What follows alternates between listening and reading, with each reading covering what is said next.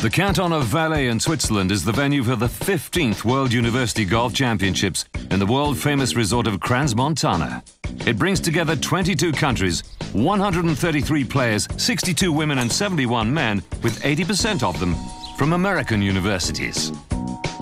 I think they, they have an opportunity where they can get an education and play golf as well, and that doesn't happen in most of the European countries. I think they can play golf or they can just go to school, but we're the only place where they combine the two. And they know that we have good competitive programs, that uh, people that go to university um, in the States have a pretty good opportunity to then go professional, you know, if they want to, be on the LPGA or the PGA Tour. So it just opens a lot more doors for them, I think. And there's, it's higher competition, you know.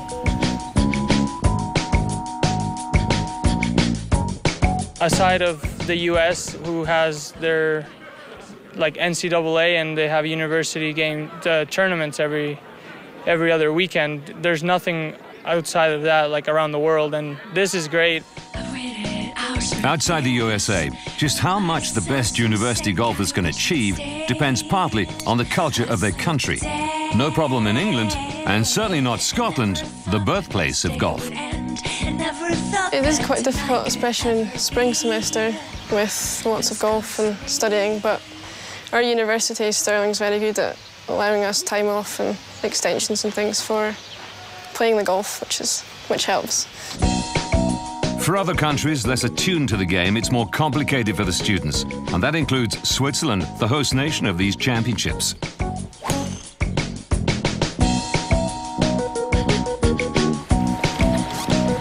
Well, obviously, there is a difference because they play all year long. Those who play in the United States don't have four or five months off during the winter time.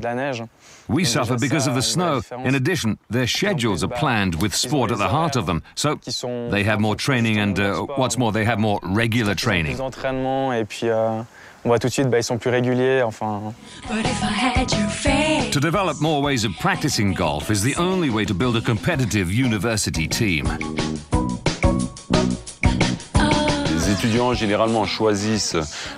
Students generally choose to study instead of playing sport at a high level. But uh, euh, those who choose to play golf emigrate. What they do is they go to study abroad. They'll go to, for example, American or British universities. And then it's difficult to get these students back and to reintegrate them into the university team of Switzerland. participer dans l'équipe suisse universitaire. Two competitions are taking place here, the individual one and the team competition. And the level of golf is high. The University World Championships bring together the best amateur players on the planet.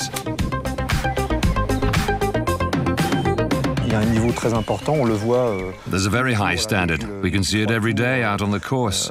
Euh, and among the nations are some of the world's best players. That's important, especially because golf's going to become an Olympic sport. The game's also part of the Universiades. In 2015 in Gwangju, in Taipei in 2017, and in Brive in France in 2016, of course, we'll have the next University World Championships. In these University Golf Championships, the Spanish have something to live up to. They bagged a Grand Slam two years ago in Liberec, with their men and women taking four world titles, two individual and two team titles. Emilio Carruado leads the men's competition for quite a time before Malaysia's Gavin Green, the world number five, takes over the leaderboard, finally giving way to the Mexican Gerardo Ruiz. I started with birdie in easy par five, and then it was very constant pars and a bogey here and there. But 15 was, I made like a four meter putt that turned around, turned the game around. The famous Par 72 course designed by Severiano Ballesteros is home to the European Masters, and Gerardo Ruiz will finish 10 shots under par. It's just great. It's so nice to see all the people sending congratulation messages and unbelievable. The team total is calculated by adding together the scores of the three best golfers of each nation.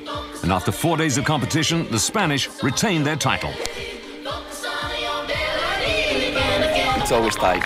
Um, every year Um, he's always close. You never know what's going to happen. But you know, thankfully, the last two years, Spain came out on top. It was good.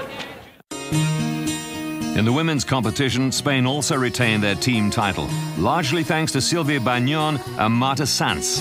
And the Spanish look poised to keep the individual title too. But the duel between Sanz and Tiffany Chan of Hong Kong would be the highlight of these World University Championships.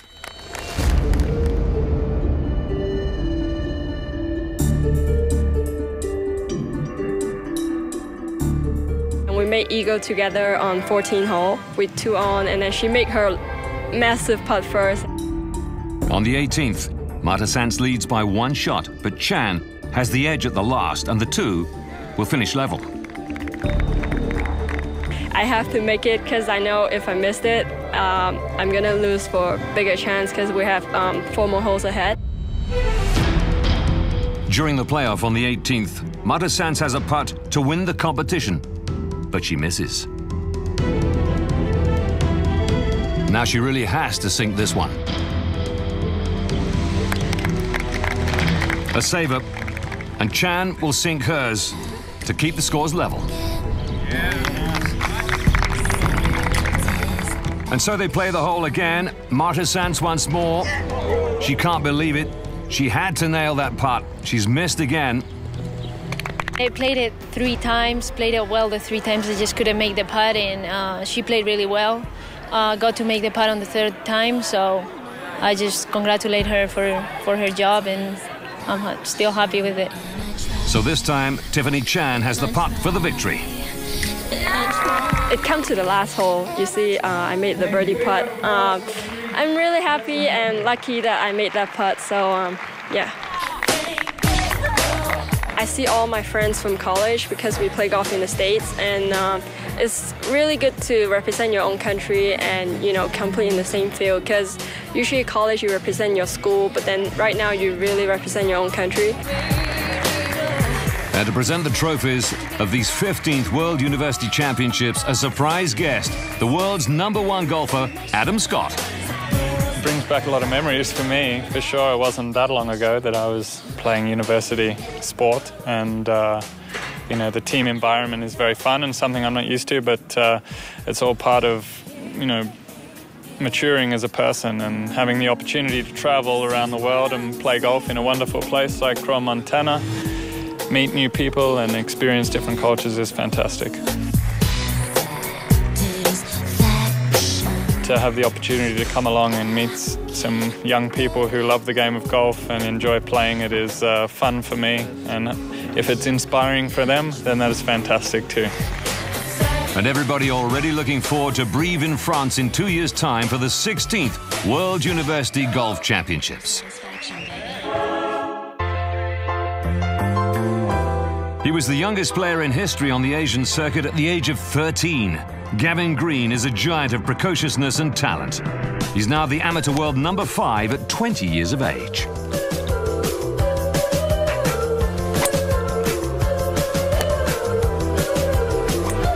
My parents actually, uh, parents actually took me to the range, and then I started hitting balls, started playing tournaments, and I just never left it. I loved it ever since.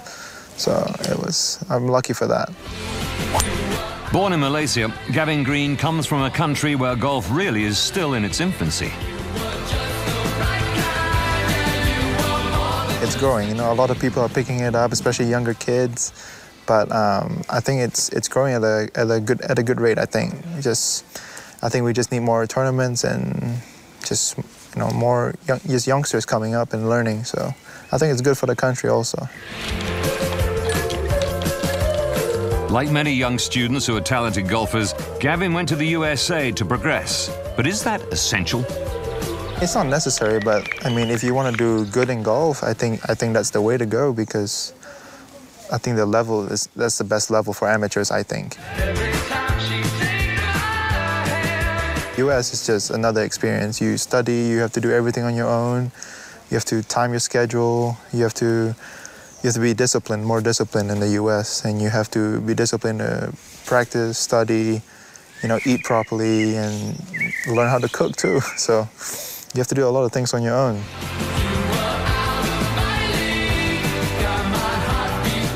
I study business and sports management. So I'm doing two of them. I think golf and study is the same. It's similar because if you want to do well, you got to practice. Same as school. I mean, you got to do your homework. Like golf, you got to practice and do your homework in order to do well. So you like got to practice on your swing. You got to do chip and putt and do everything for golf. And same for school. You got to you know study. You got to go through your all exams if you want to do well or just same thing. I, I, I put it away. The same thing. At 20 years of age, Gavin would love to carve out a professional career in the world of golf. My degree is for a backup, but I'm doing I'm going golf for sure, and you know hopefully I can you know make it on the tour sometime soon. So that's the goal right now. Gavin Green has been Sportsman of the Year in Malaysia no fewer than four times in 2006, 8, 9, and 10. Here at Crans-Montana, he finished runner-up in the World University Championship behind the Mexican Gerardo Ruiz. Could that win him a fifth Sportsman of the Year award back home?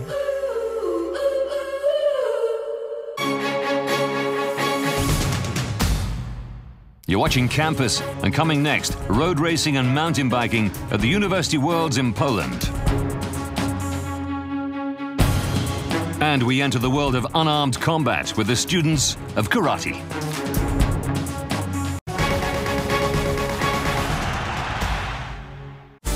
Today's stars, tomorrow's leaders